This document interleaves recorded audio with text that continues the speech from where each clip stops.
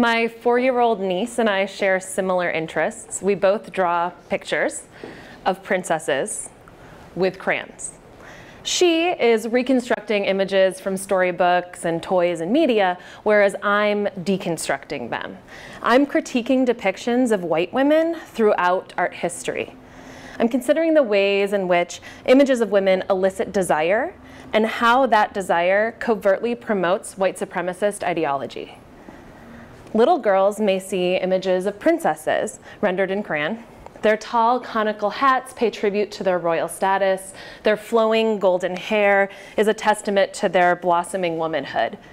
They are to be looked up to, admired for their femininity.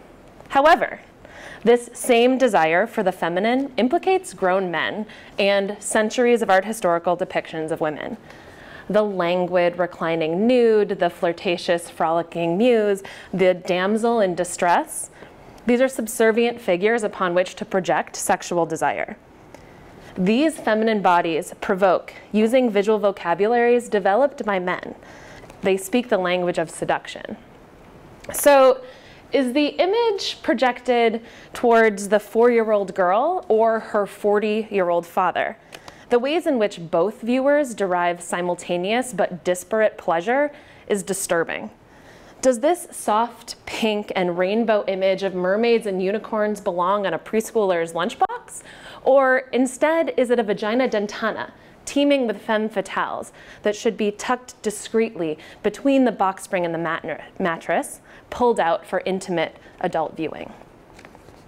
Distracted by the incestuous notion of a daughter modeling herself upon her father's sexual fantasies, we're actually failing to notice the larger context. As we draw our attention outward, we'll notice a ring of white conical shapes that surround these dancing figures. And pull back further, we'll notice the, no the nose of a white shark. But the women are unfazed by this looming threat because they're the bait. They're sirens which draw us inward so that we too are consumed. In a white utopic dreamscape, populated solely by white figures, a white audience will often ignore the blatant whiteness of the image. Whether child or adult, if we're only seeing this beautiful maiden, we're failing to recognize her whiteness as her beauty. And if we don't notice her or our whiteness, then we're vulnerable to the threat of embodying such an ideal. Whiteness unrecognized is powerfully dangerous, just like the jaws of the great white.